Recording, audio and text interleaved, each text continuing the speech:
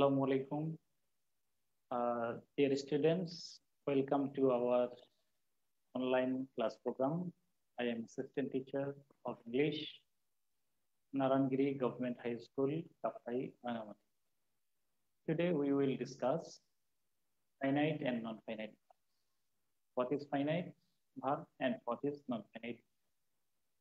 This class is important for uh, all of the classes from 6 to 9. Okay, um, we know uh, at first we can classify the verb into two parts. ভার্বকে আমরা প্রথমত দুই ভাগে ভাগ করতে পারি একটা হলো ফাইনাইট আর একটা হলো নন ফাইনাইট ফাইনাইট আর একটা হলো নন ফাইনাইট ফাইনাইট হলো সমাপিকা। আর একটা হলো নন ফাইনাইট হলো অসমাপিকা। অসমাপিকা।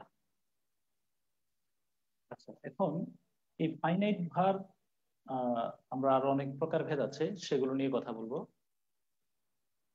এর মধ্যে এই ফাইনাইট ভারটা কি?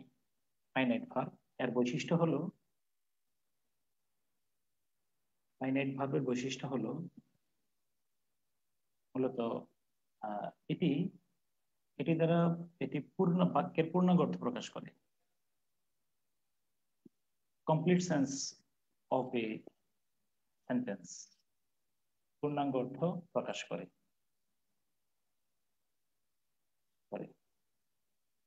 তারপরে এটি দ্বারা টেন্স চেনা যায়। আমরা টেন্স আইডেন্টিফাই করতে পারি, এটি দ্বারা। টেন্স চেনা যায়। তারপরে এটি এর রূপ পরিবর্তিত হতে পারে। টেন্সের পরিবর্তনের কারণে। পরিবর্তনের কারণে এর ফর্ম পরিবর্তিত হতে পারে। হতে পারে। হতে পারে। হতে পারে। আর হলো এটি সাবজেক্টের সাথে বসে। এটি সাধারণত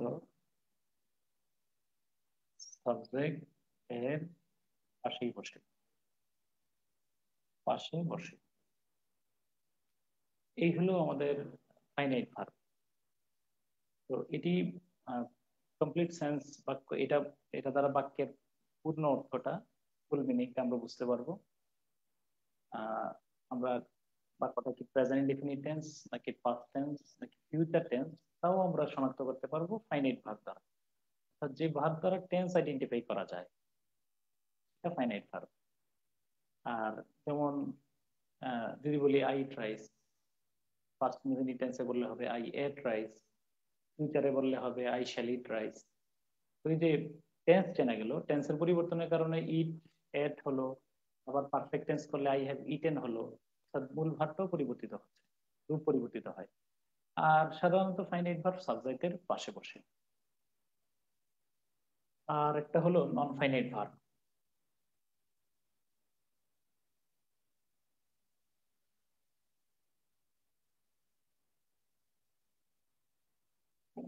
non-finite.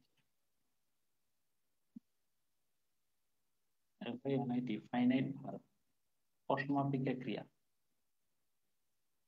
অসমাপিকা আর নন ফাইনাইট ভার্বটা হলো এটি এটি বাক্যের কমপ্লিট সেন্স এটি বাক্যের পূর্ণাঙ্গ অর্থ প্রকাশ করে না পূর্ণাঙ্গ প্রকাশ করে না। কমপ্লিট সেন্স দ্বারা প্রকাশিত হয় না। এটি দ্বারা টেন্স আইডেন্টিফাই করা যায় না। টেন্স জানা যায় না।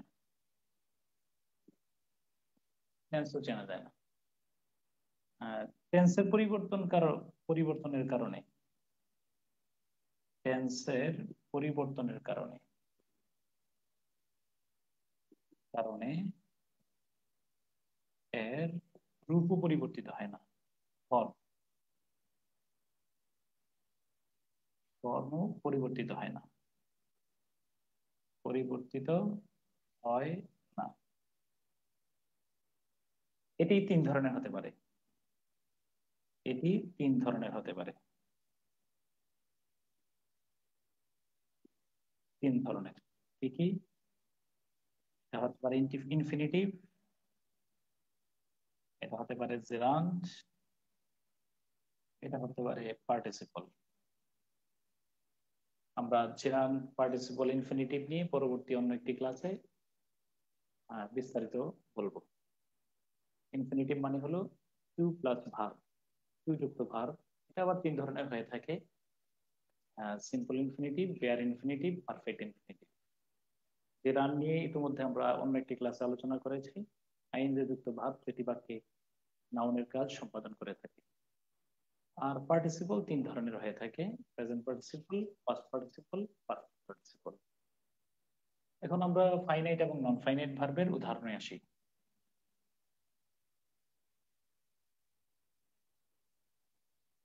যদি বাংলায় বলি আমি রাতের খাবার খেয়ে আমি রাতের খাবার খেয়ে খাবার খেয়ে ঘুমোতে গেলাম। এই যে খেয়ে ঘুমোতে গেলাম। এই তিনটা ভাব তিনটা ভাব এখানে আমরা দেখি। আবার যদি এটা হলো অতীতকালের কথা আমরা যদি এটাকে ফিউচার ভবিষ্যৎ করে বলি, তাহলে হবে আমি রাতের খাবার খেয়ে ঘুমোতে যাব। খেয়ে ঘুমোতে যাব। স্টুডেন্টস প্লিজ নোটিস এখানে খেয়ে ঘুমোতে খেয়ে ঘুমোতে, কিন্তু এখানে হলো গেলাম আর যাব। তো গেলাম। তো যেটা দ্বারা টেন্স চেনা যায়, এবং বাংলা বাক্যের সাধারণত শেষে বসে, সেটা ফাইনাইট আমি গেলাম, যাব, গিয়েছি, এবং পূর্ণাঙ্গ অর্থ প্রকাশ করে, সেটা সমাপিকা ক্রিয়া। এটা হলো সমাপিকা। সমাপিকা ক্রিয়া। আর এগুলো হলো অসমাপিকা ক্রিয়া। অসমাপিকা এর দ্বারা টেন্স চেনা যায় না। এর ফর্ম রূপও পরিবর্তিত হয়নি, হয় না। এ ঘুমোতে এ ঘুমোতে। টেন্সের কারণে, পরিবর্তনের কারণে এর রূপ পরিবর্তিত হয়নি। ইংলিশ যদি আমরা এগুলো করি, তাহলে বলতে পারি finishing my dinner finishing my dinner I went to bed আবার বললাম finishing my dinner I shall go to bed. এই যে finishing my dinner I went to bed finishing my dinner I shall go to bed তো went আর shall go Went এবং shall go আরেকটা verb আছে, এখানে দুইটা ভার্ব এখানে আবার টু বেড টু বেড এখানে আছে ফিনিশিং ফিনিশিং অর্থাৎ এখানে প্রতিটি বাক্যে তিনটি করে ভার্ব আছে। Finishing my dinner I went to bed finishing my dinner এখানে একটা ফিনিশিং পাশে হলো ওয়েন্ট এই পাশে হলো টু বেড এখানে ফাইনাইট ভার কোনটা? আমরা জানি সাবজেক্টের পাশে যেটা বসে, সেটা মূলত ফাইনাইট ভার হতে পারে। এছাড়াও এটা পূর্ণাঙ্গ অর্থ প্রকাশ করে, যেমন আই ওয়েন্ট আমি গেলাম আই শ্যাল গো আমি যাব বাক্যের পূর্ণাঙ্গ সেন্স কমপ্লিট করে। অতএব এখানে ওয়েন্ট এবং শ্যাল গো হলো ফাইনাইট ভার্ব ফাইনাইট ভার্ব আর যেটা দ্বারা পূর্ণাঙ্গ অর্থ প্রকাশ করে না টেন্সের রূপ পরিবর্তিত হয় না, এগুলো নন ফাইনাইট ভার্ব অতএব এখানে টু বেড এবং ফিনিশিং এই দুইটা হলো ভার্ব নন ফাইনাইট ভার্ব একটু খেয়াল করো, মনে রাখব আমরা আমরা আগের একটা ক্লাসে দেখেছি ফাইনাইট ভার্বের দুটি অংশ। একটা হলো principal auxiliary principal verb auxiliary verb principal verb আবার দুই ধরনের হলো ট্রানজিটিভ আর একটা হলো ইনট্রানজিটিভ তাহলে যে এই যে একটাকে ফাইনাইট ভার্ব বললাম ফাইনাইট ভার্বের দুইটা অংশ, একটা হলো অক্সিলিয়ারি ভার্ব আর একটা হলো মূল ভার্ব এই মূল ভার্বটাকে আমরা আবার সামনে দেখব যে দুই ধরনের হবে। প্রিন্সিপাল ভার্বটা দুই ধরনের হবে। এটা হয়তো ট্রানজিটিভ ভার্ব হবে, না হয় ইনট্রানজিটিভ ভার্ব হবে। তো সেটা নিয়ে আমরা আরেকটা ক্লাসে বিস্তারিত আলোচনা করব। আর অন্যদিকে এই যে ফিনিশিং এবং টু বেড এই বাক্যে কিন্তু বেড শব্দটা ভার কতগুলো নাউন বাক্যে ভার হিসেবে ব্যবহৃত হতে পারে? এখানে বেড মানে বিছানায় যাওয়া মানে ঘুমোতে যাওয়া। টু বেড মানে হলো টু স্লিপ তো এই দুইটা হলো non finite verb. Non finite verb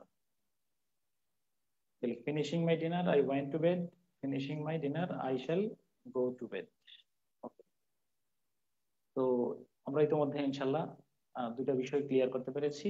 সেটা হলো ফাইনাইট এবং non finite verb finite verb দুই ধরনের হবে প্রিন্সিপাল অক্সিলারি এবং এটা মূল ভার্ব হিসেবে প্রিন্সিপাল অক্সিলারি ভার্ব এবং বাক্যের পূর্ণাঙ্গ অর্থ প্রকাশ করবে।